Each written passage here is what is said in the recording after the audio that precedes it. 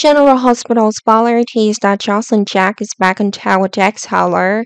Jack is temporarily unable to return to Sonny Corinthos organization. Sonny's knew Jax was the one who betrayed Sonny and Michael Corinthos was the one behind it. At that time, Sonny intended to murder Jax. But then Sonny chose to forgive Jax and chase Jax out of town. Now, with the news, Jason Morgan is back and is suspected of being the man who attacked Dante Falconeri.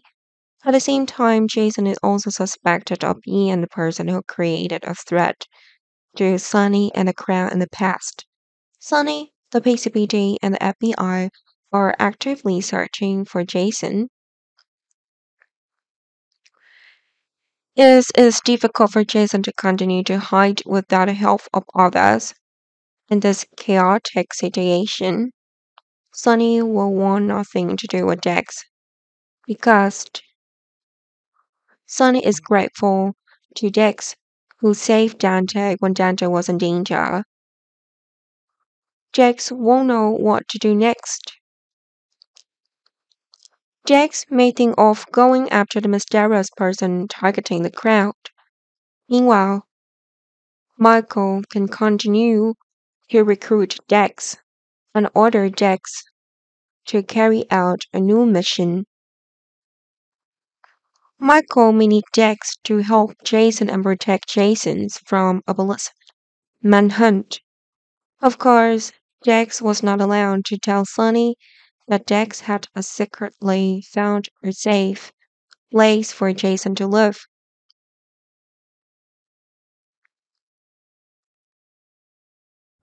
It turned out that Jason had proactively asked Michael for help before. That's when Jason met his son, Danny Morgan. Danny gave Jason effort eight feet.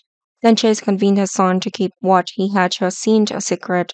At the same time, Jason asked Danny to go to the gate of the Quartermaine mansion to meet Michael. Jason and Michael date took place. During that conversation, Jason wanted a place to hide.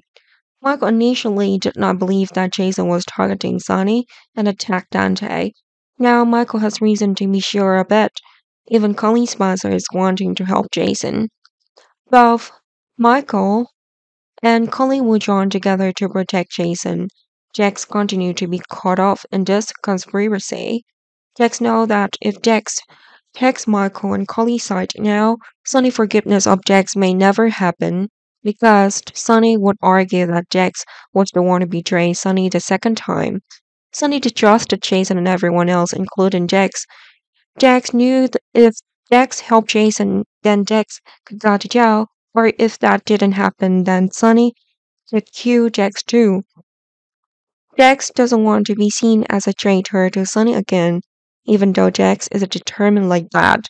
Jax will have no other choice. Josslyn absolutely wants to protect Jason, the way Michael and Colleen are doing.